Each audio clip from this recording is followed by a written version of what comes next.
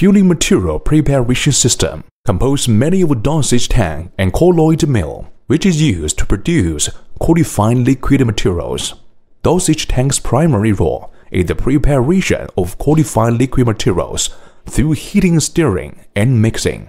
Colloid mill's main role is grinding granular liquid to reach more than 80 mesh to form a qualified liquid materials, and then stirring and mixing the liquid materials in dosage tank for the preparation of qualified liquid.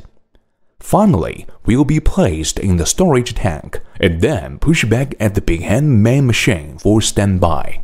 Among them, filling material preparation system and gelatin mill system are belonging to the raw material preparation stage.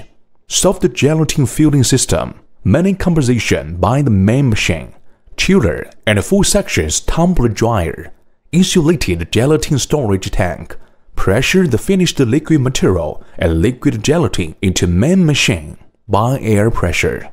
Then, through rotation and compression of the main machine's roller, send out the produced soft peel down on the conveyor belt, then into the tumble dryer to produce qualified soft peel.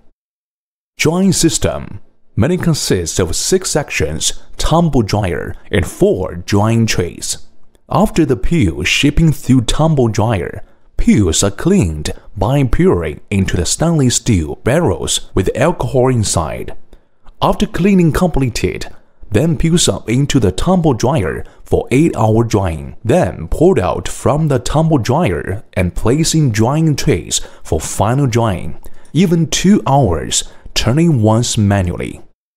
Gelatin recovery system Many consist of a gelatin recovery machine and centrifugal units. They produce the gelatin after the soft gelatin filling process is manual cycling through the gelatin recovery systems gelatin recovery machine crushes the gelatin into about 2 cm block and then after alcohol cleaning, the block placed in centrifuges units for drying for future recycling standby.